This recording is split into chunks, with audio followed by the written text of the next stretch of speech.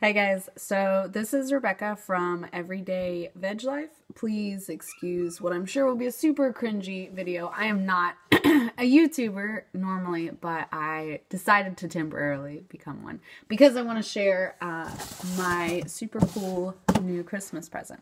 So this is an electric lunchbox. So I originally heard about the electric lunchbox while I was watching an Emmy Made in Japan video. Uh, she's not a vegan YouTuber or a vegan cooking channel, but I do really like her. Great entertainment value with her videos, and she will occasionally make some vegan stuff like she did the grapefruit peel steak. Mostly she does weird things. I like her videos for times of hardships. Uh, she actually made me want to try a peanut butter and onion sandwich, which I have not tried yet, but it looks good. So anyway, she had a sponsored video from Itaki where she reviewed their electric lunchbox and it looked awesome and it made me want one. And normally I don't feel that way about sponsored videos, but I thought she really did a good job with it and I was impressed with the way that it performed. So I decided, oops, sorry, let me move the camera some. So I decided that I wanted to look into getting one after I watched her video. So I, oh, get down. Oh. So I am not actually uh, a big fan of weird appliances. Like I don't own a toaster because you can just make toast in the oven. Uh, I am not a big gadgety appliance junkie. My dad is. Uh, I'm not though. So I really debated whether or not I wanted this, and I started watching tons of YouTube videos about the electric lunchboxes. some are in English, some are not. But very few of them, actually, I don't think I could find any, are for vegans. None of them make vegan meals. They're usually making like a salmon or a chicken in theirs, or like putting fish sauce in the noodles. And that made me question whether or not this was really something i wanted. Um, i did the same thing like when the air fryer came out because i was all you ever see is like meat and cheese. And so i was like not sure if i would get a lot of use out of it. So that's how kind of how i felt about the electric lunchbox. But after watching quite a few videos, I definitely think that I can make some vegan recipes, and that's why I'm moving out of my comfort zone and making YouTube videos that I don't normally like to do to show some of the recipes that I think will be good with the electric lunchbox. So that if you are debating purchasing one or if you got one for Christmas and don't know how to use it and you're vegan, then this maybe gives you some options. And if you're not vegan, this might just be something different that is also a healthy choice. So right now I'll go ahead and do a little bit of an unboxing and we'll look at a little bit. So, like, why would you want an electric lunchbox too? Is the other thing. So, I know at my work, I'm an elementary teacher during the day and a group fitness instructor in the evenings. Um, so I, I eat lunch at school. The teacher's lounge has two microwaves one and a half. One of them doesn't work very well. that we're always fighting over. Your food is never the right temperature. And we, at most, I get like 20 minutes for lunch. It's supposed to be 30, but by the time you go to the bathroom and get your lunch ready, you never get 30 minutes to eat. So I was tired of scarfing down lukewarm food in 15 minutes. And I thought this could be a fun way to get some healthy food that's cooked well and cooked fresh that I could do in my classroom or in the teacher's lounge. It's pretty portable. I also think it would be really cool um, if you maybe worked somewhere where you don't have access to healthy food or a way to reheat it. Like if you were a mechanic in a shop or a, like a trucker or a construction worker or, you know, you were just out and about somewhere. I think it's pretty cool. So we'll go and get started. This isn't a real unboxing because I opened it on Christmas Day because I was pretty excited about it. But this is the box that it comes in. So this is not the Itaki brand. I am not sponsored. This is a different one that my mom found. She bought this for me on Amazon and I'll put a link to it in the, what do you call it, description box? I'll put a link and you can check it out. This is the exact link I sent her. I did some research. I knew I wanted one of the big ones. I knew I wanted one of the round, like stackable ones. There's um some that are kind of rectangular and the food like sits next to each other. So I wanted one that was similar to the one Emmy was using, but I didn't necessarily, like it didn't have to be the name brand Itaki brand. So this is, I think, an Itaki brand knockoff. Uh, this is what it looks like.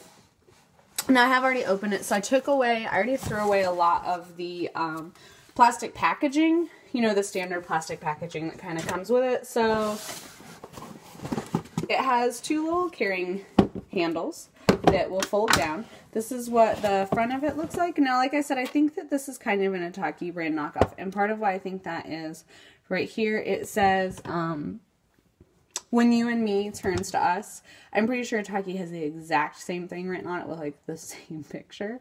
The only difference is that I'm pretty sure theirs has the word or their name brand like put here somewhere. So this is the brown one. Like I said, it's three tiers. Um, and it came with a little bit more packaging, like plastic packaging than this. Uh, I saved the bubble wrap to play with later because that's fun.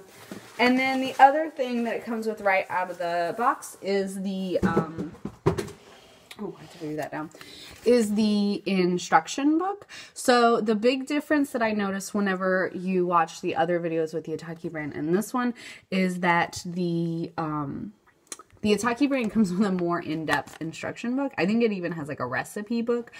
I probably wouldn't use a lot of recipes out of that, but it would be helpful to have measurements because this one doesn't even give measurements for like rice. So it comes with the rice scoop, but it doesn't actually say what proportions to use any of the stuff in. So I'm going to go with the measurements that Emmy uh, uses in her videos because she made really good rice and she also has a 40 milliliter measuring cup. We'll get to that in a second.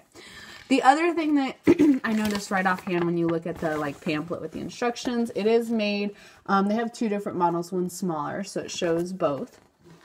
Um, the other thing that was really just like kind of stuck out is the English in it isn't exactly, it's not perfect. And I don't necessarily think that's a bad thing. Like you still know what it's saying, but it's kind of like um, they use Google Translate. So for example, it says like using method, and whereas you would maybe see method of use on a product that was manufactured uh, different, or I don't know, like like they didn't quite pay for a translator and interpreter. Um, one of the ones that just made me happy was in the instructions for like things you should and shouldn't do with it. For example, don't throw in a bathtub. It says um, putting into the high temperature disinfector for disinfection is prohibited, which means don't put in the dishwasher. So, like I said, it kind of made me smile a little bit. It's not a bad thing. I'm not making fun of them or anything. You can definitely tell what they're trying to say um, or like what it means. It's just not written in the way that I would have written it or the way I would have expected to see it written. Um, maybe we're a different company. But uh, it's pretty cool. I bought the three tier model. So uh, it starts off with the base is on the bottom and it's got these two plastic clips that unclip. So the base has uh, the, this is the electric part that heats it up. So if you've ever owned a rice maker, this is really, really similar to a rice maker. So it's got a place for a plug in the back. This is the button that you use to switch it on and off. And then sitting, what sits inside that base, let me move it so you can see, move the camera. I told you I'm not a YouTuber, give me a second. Okay, so what sits inside that base is the first big bowl.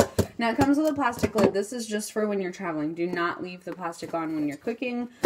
So in the big plastic base, it also has a smaller tray that sits inside the plastic base. So this is like a steam tray. So it comes with this uh, 40 milliliter, trying to make my camera focus, 40 milliliter super, super tiny cute measuring cup for rice. It has this gadget, and I actually had to rewatch Emmy's video because I couldn't figure out what this was for. So it sits down. Oops. Oh, I'll turn it. See, I'm not good at this.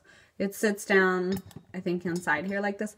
It's an egg cooker. It holds eggs. So as a vegan, not really sure how much I'm going to be using the egg cooker, but my husband's not vegan, so I'm going to hang on to it. Maybe I'll put dumplings there. Maybe he'll want some hard-boiled eggs. Who knows? Or steamed eggs? Do you still call them hard-boiled eggs? I don't know. I cannot get my camera. You know? You don't need to see my face. It's about the lunchbox. That's all right. So, it also has the cord. So, the cord, of course, has the end that plugs into the wall. And this came with the type of plug that fits American plugs. Um, and then it also has the kind that, or the end that goes in the base. So it's not a super duper long cord, but I'm also not sure why you would need a super long cord because theoretically, I can't get this undone. Theoretically, this is going to be on your desk or somewhere like in your cubicle or, you know, wherever you work. So I don't think you would need a super long cord. And when you travel with it, you can take the cord off of it, which I like. So the cord is about as long as my arm ish, about five two. So. so the big base is for like your rice or your grain, your pasta, noodles, ramen, whatever you're eating. The steam tray, and you can see it has little holes, goes on top of that. And then when you're traveling, it also has the lid. And then you go into the second base. So when you look at the divider in between the first and the second base, it actually has holes in it. This allows the steam to escape and get through. So the steam from the rice will come up and will cook whatever is in your second bowl. Again, it comes with the plastic lid that you don't use when you're cooking.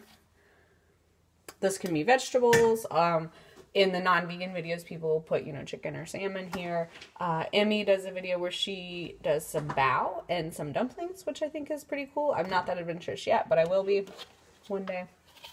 And then the lid goes on the top and it all snaps together to cook. One of the things that the uh, instructions said is to make sure that the vent is always open so that steam can escape and not to cook it with the vent closed. But I can't figure out how to close the vent. Like to me, it appears to just always be open.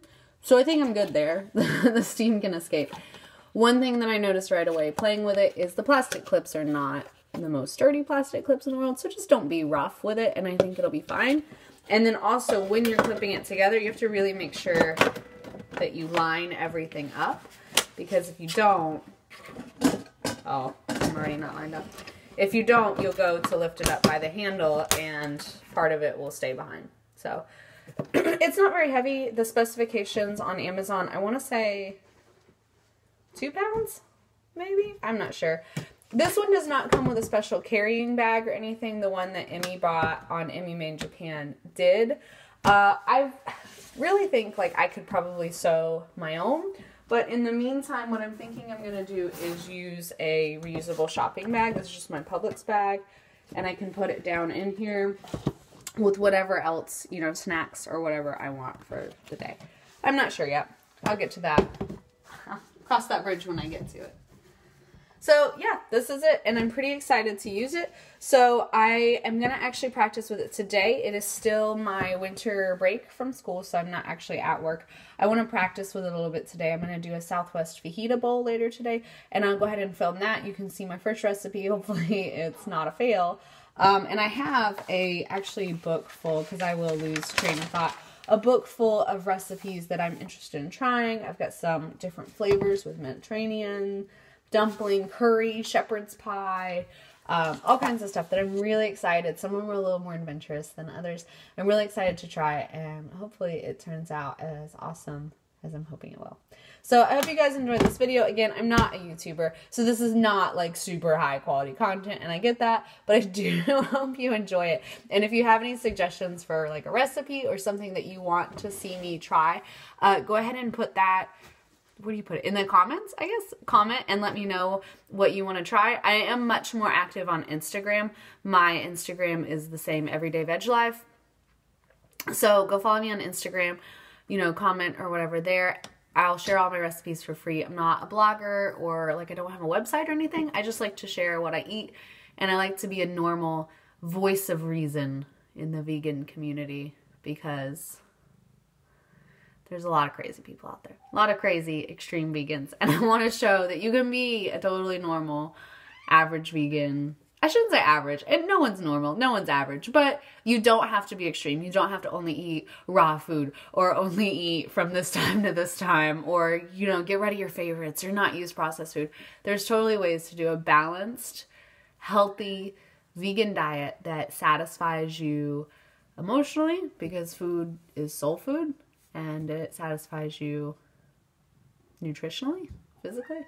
You know what I mean. So my cats would like breakfast now. So I'm going to go ahead and do a little bit uh, minimal meal prep. Um, and then I'll come back closer to lunchtime and we'll cook our first meal in the lunchbox. Thank you guys.